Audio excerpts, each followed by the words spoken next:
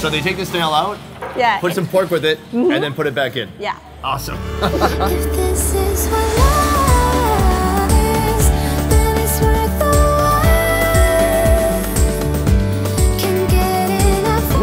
Traveled to Vietnam's highlands here to the city of Dalat, courtesy of One Trip Tours. And let me tell you, in these next four videos, you are gonna see food like you have never seen before. Dalat is where Vietnamese come to cool down. They call it Little Paris, and I'm here to find the most unique food this place has to offer. I'm talking racing a pot of chicken to a dinner table. This chicken is cooking like right there in the beer. I'm talking taking my first drink of coffee made from weasel sh- A lot of coffee beans here. Whose job is it to clean the poop off of these? I'm talking spending time with one of Vietnam's amazing ethnic tribes. I've never seen any kind of food preparation like this. So be sure to subscribe to this channel to catch every episode.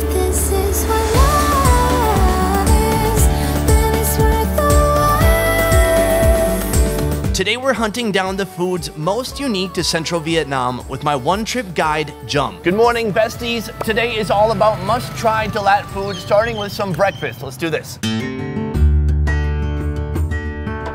A popular breakfast spot for locals and travelers alike, but there's a spicy twist. We are at this epic banh mi shop here in Dalat. This one is so famous in Thai, and you will use the meatball to eat with the bread. Oh.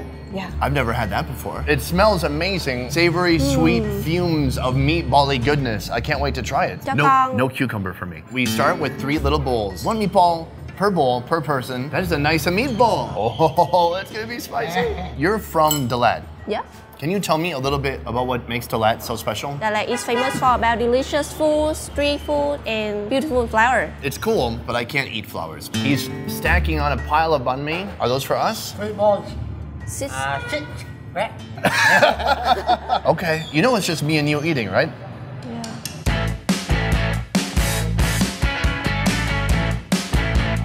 So we're gonna bust off a piece. Yeah. We're breaking bread. You dip it into the bowl All this is pretty easy to follow so far. and just eat. One of the most intimidating but most easy foods to eat. You dip and eat.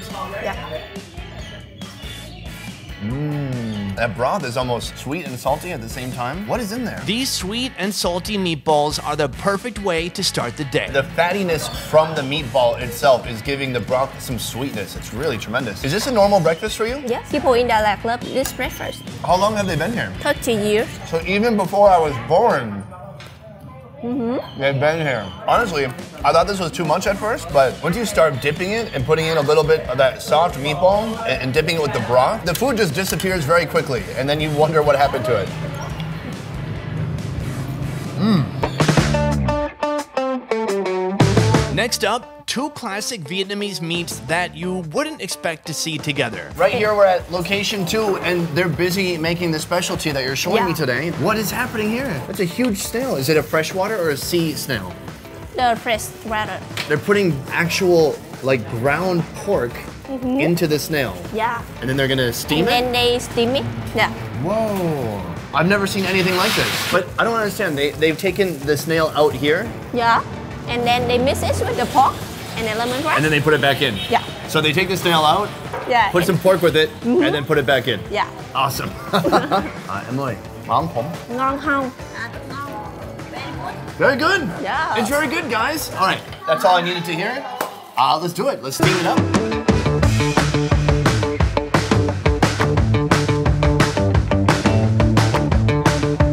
We have these huge freshwater snails. They've stuffed some pork inside, some lemongrass, and take it away. Actually, it's your first time too, right? Yeah. What is the method here, though? What do we do? Do we just grab it with our hands? Yeah. I love that. Be It's careful. steaming. You just like take it Uh-huh. and then you pull it like this. You dislodge the pork and the snail. No. Oh, dip in. You eat the grass too? No. You like slingshot it into your mouth?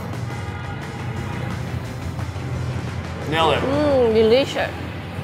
Whoa. This is one of the best snail concoctions I've ever had. The pork is perfectly cooked. It's well seasoned. It's a little bit sweet. It's, it tastes like a little bit of fish sauce in there with the snail. What's great is sometimes eating snails can be kind of a pain because you have to like take off the front shell. You have to like fish it out. There's like the poopy part in there. They remove that hard part. They put in the minced pork. You just pull it out super easily. Dip it in some fish sauce. It's like a big bite of meat. You've got the tender pork and a chewy Yeah. snail all together. Every five clams, eat one herb. Do you like it? The first time I take it, and hmm. I really like it. I can't stop. Mm-hmm. Like it's so easy to eat. You can just throw them back so easily. So where are we going next after this one? Bánh ướt lòng gà. Sounds great to me. Let's do that next. Our third location combines chewy steamed rice cake with chicken intestine and a variety of unique add-ons, including unlaid chicken eggs. Here we are, location three. We're getting some steamed rice cake and some chicken intestine. Look at that.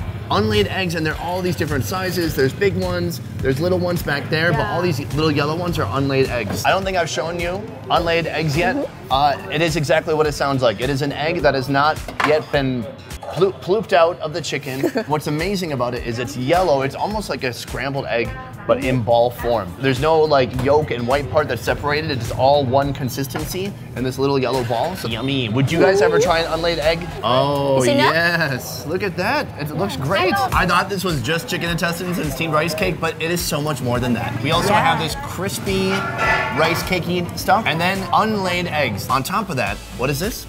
This is a pork heart Oh, it's a pork heart. And what is this? and the tongue. Tongue. And this is a chicken tongue. No, no, the pork. Oh, pork tongue? Yeah. A pig tongue. We got like every body part. They just went to a farm, they threw a bunch of animals into a mm-hmm. blender, and then this is the result right here. No offense. Should we get started? What do you do first? I will mix it. Oh, I hate mixing. It's so beautiful right now. Let's try some heart. You think this is really a pig heart? Yeah, so let's try. Mmm.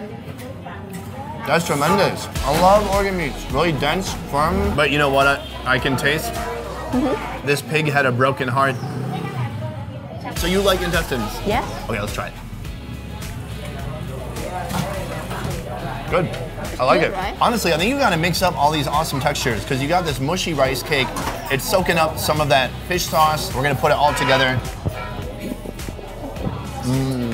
I'm blown away a little bit. This tastes awesome. The fish sauce, it's not too strong. It's a little bit more light, not super salty. And that steamed rice cake. Look, I've had plenty of steamed rice cake. I've had like the banh cuon, but this is so, so mushy and so soft. It's like doughy almost. Let's try unlaid egg. It's good. It's good. It's amazing because I've had a developed duck egg. It would be laid, and then maybe 18 days later they would mm-hmm. eat it. But this egg is more like negative four days old. It doesn't even have a birthday yet. It's negative days Yeah. old. But hey, little buddy, you taste great to me.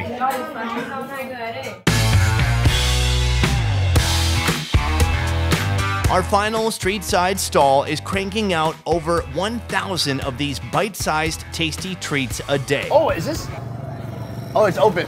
I almost put my hand into those quail eggs. There is about 1,000 quail eggs in here. I don't know whose job it is to crack a thousand tiny quail eggs. That sounds tough, but also a little fun. Maybe like a, a good job for a little kid. Whose job is it to crack all these eggs? Oh, her family do this. A family. Yeah. Is there a special machine? Just by hand. Just by hand. Yeah. This place is selling thousands of these over the weekend. That's crazy. Bánh căn are made with rice flour and a chicken egg or a quail egg. She's gonna make like a dozen of these at least at one time. Now I've had something like bánh căn from Bánh khọt, right? Bánh khọt, yeah. Yeah, it's different. In Bánh khọt, you can put some shrimp, but in Dalat, just egg. This meal is not complete without the dipping sauce. And their unique sauce is made with fish sauce, peanuts, stir-fried scallion, mango, and Vietnamese meatball. Which one do you like more? Do you like a scrambled chicken egg or a quail egg? I like the whale egg more. Well, I can't wait to try it out. We're just gonna give it a dip Yeah, just dip it. and then eat it up. Let's do it. Mmm. Oh. That is the best thing we've had today. The sauce is so sweet and peanutty. I didn't know this is like, there's some peanut flavor in this sauce. This is like half dessert for me. The cake part is spot on. That is tremendous. Great squishy texture, little eggy, little cakey, and it's like a little sponge. It soaks up that sauce straight away. You can mix it with some of the other ingredients in the bowl, and then bam. Mmm. The quail is awesome. I want to see which is better. See if it's really better than the chicken. We've got kind of a scrambled egg here. Let's try it out. Mm-hmm. Wow, I can't believe I've not tried this until now. It's really yummy. Uh, Which one do you like more? I probably like the quail egg a little bit more. It has some more better texture. This one's a little too mushy maybe, but I like them both. I think all these flavors together are great. It wouldn't work without this dipping sauce. You need the fish sauce. How many of these do you think you could eat in uh, one meal? I can eat like 10. That would be a good challenge sometime. I'll make you guys proud, and I totally won't cheat by throwing them under the table. Chum, Yeah. thank you so much. This was a lot of fun. I learned a lot about all this really unique Dalat food. I had no idea the city had so much unique food that was its own. I've had a lot of Central Vietnamese food already, but coming to Dalat and seeing Dalat's own unique spin on the food was really a treat for me. So thank you so much. Yeah, it's my pleasure. This video was made possible by Vietnam's highest rated tour company, One Trip. Whether it's food tours, adventure tours, or village tours, One Trip is the best way to experience the real Vietnam. Thank you so much for watching. Throw a like if you liked the video, and we will see you next time.